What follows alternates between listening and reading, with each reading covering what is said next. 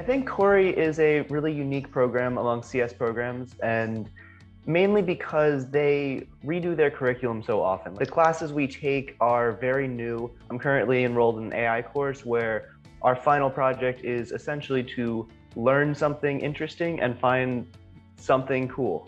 That's essentially the 30% of our grade. So I really like how Khoury has a lot of classes like that that encourage students to be at the front edge of technology. And I think Khoury does a really good job of staying ahead in that regard.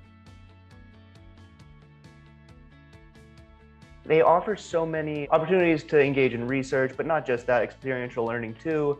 And really teachers are always available to help. They're always available to talk about their personal research.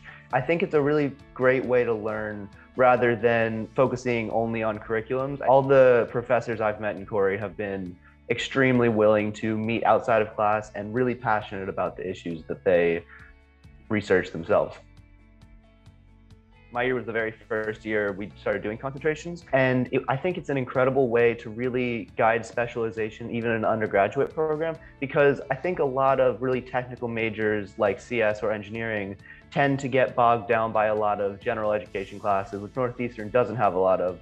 And they even go further with these concentrations. For example, I made I'm concentrating in AI, which is an extra four to five classes that will guide a specialization and it not only looks great on a resume because of all the projects we build, but it's also a really interesting way to decide on a specific interest without taking a full master's degree and see if you want to pursue it further.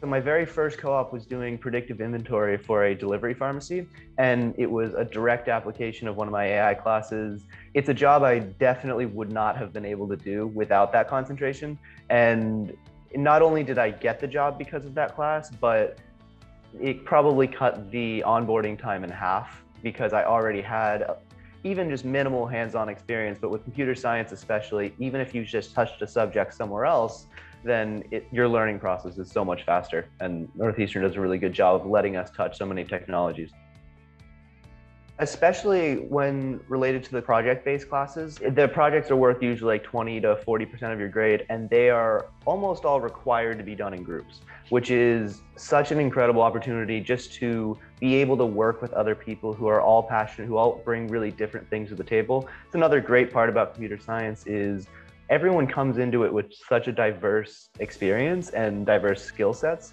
that group projects like that are really an interesting way to develop something really interesting because everyone comes at it with their own unique tool set and ends up building something cool.